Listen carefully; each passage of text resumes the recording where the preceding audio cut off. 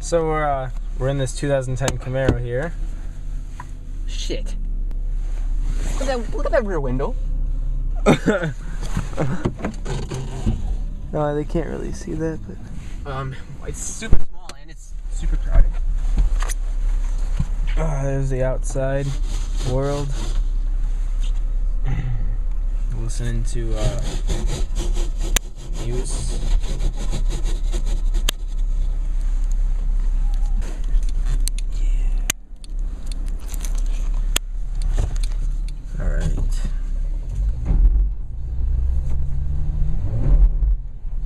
We're discombobulating.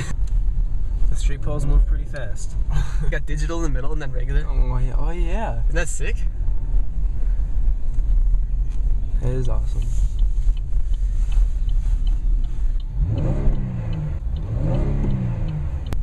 Dude, just look how small the windshield is. Yeah, I know. It's so hard to see out of it.